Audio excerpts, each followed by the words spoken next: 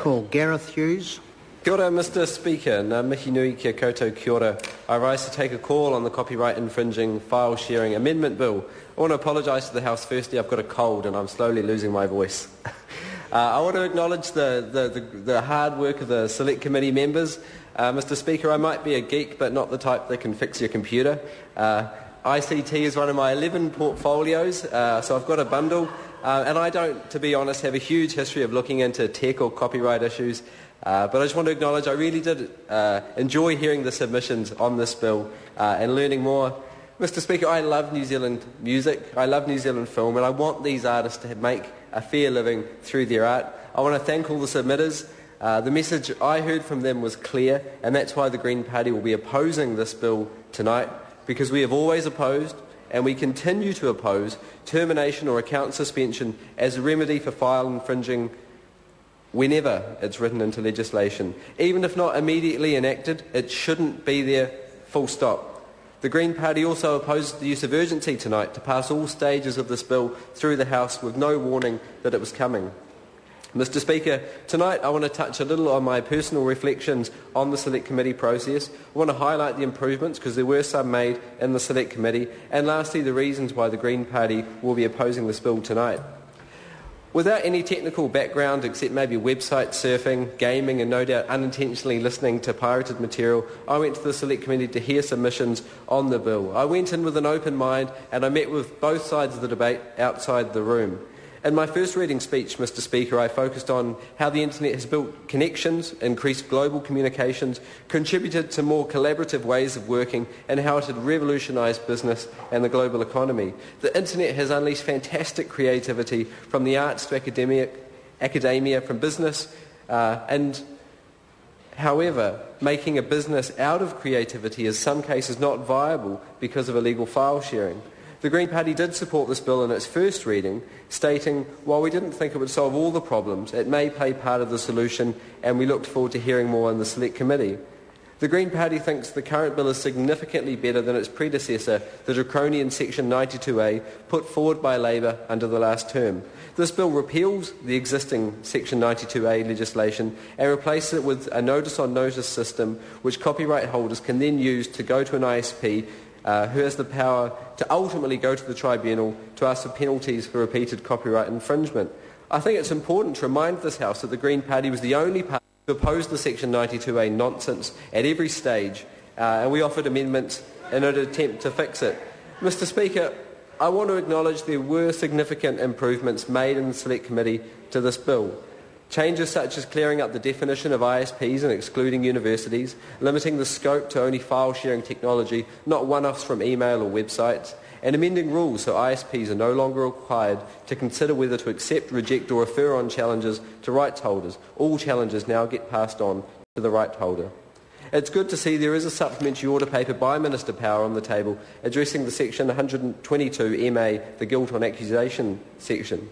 However, the financial damages do include a punitive element and are not merely compensatory. This is especially important in New Zealand, where often we're at the end of the US or European-based supply chains. We can wait months or sometimes years to get access to content which is freely available overseas introducing a compensatory penalty, or more controversially, Mr Speaker, a zero dollar penalty for infringing against international products that aren't available in New Zealand may have actually encouraged rights holders to provide digital content sooner to Kiwis. Mr Speaker, internet account suspension as a remedy for file sharing was the big issue in the Select Committee and the one that many submitted on. Opposition to termination was clear from independent groups and consumers, as was the desire to wave this termination stick by rights holders. The key question on the committee was, was suspension of a person's internet account for copyright infringement a needed deterrent tool which would, however unlikely, actually be used by copyright holders, or was it actually an ineffective tool, or as David Farrar put it, an unproportional response and a bad precedent? In the end, the Select Committee reached a compromise whereby termination was drafted into law as a remedy, but only available if the Minister enacted it in the termination clause. Mr Speaker, I like compromise and the idea of parties working together towards a solution, so I was initially very keen on it. But in the end, after really searching within myself, I came to the conclusion there was no way Parliament should be drafting into law something so disproportionate to the problem it causes that will not stop the pirating of copyright material, which could take away people's access to the internet, which in today's wide world is, uh, I believe, a human right. We should remember that file infringing is a civil offence, not a criminal offence. Often people are sharing files because they simply aren't available in New Zealand because of the antiquated distribution system of the global behemoths who use it to extract as much profit as possible. We should also remember net profits have increased in the digital age for many film and music industry players and only certain distribution channels have dropped precariously. Ultimately, Mr Speaker, I think termination should never ever be written into legislation and we believe it sets a bad precedent, is disproportionate to the problem and will not solve the issue. The Green Party asserts there's danger in heavy-handed regulation for a problem which may only be temporary as the result of new technologies upsetting traditional business models. The use of fines rather than internet suspension is a more appropriate sanction for file sharing and I believe punishment should be proportionate to the offence. Citizens are not denied the right to use their telephones because it happened to be used in the commission of a crime, and this legislation should not set any precedent. Access to the internet has become a necessity in an era when more and more public services are provided only online.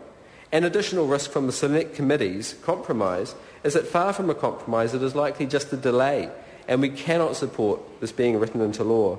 The compromise deal reached to secure the Labour Party's support was to avoid responsibility and pass the decision on to the Minister.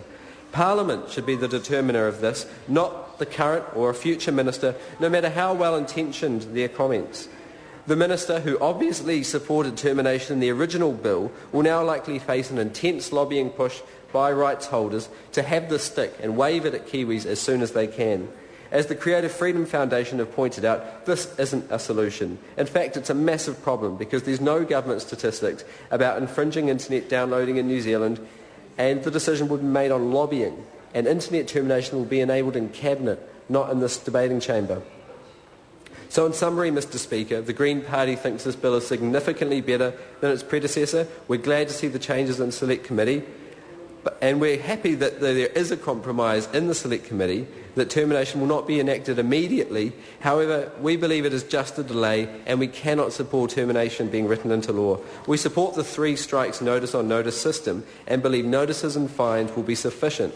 Research commissioned by the New Zealand Federation Against Copyright Theft found that a notice from the ISP would be enough to stop 71% of New Zealand young people further accessing illegal copies of digital files. We support Kiwi rights holders and Kiwi artists and we think the use of notices and fines rather than internet suspension is a more appropriate and proportionate sanction for file sharing. Access to the internet is vital for engaging with our modern world and the Green Party will have no part in legislating this away from the people. Kia ora.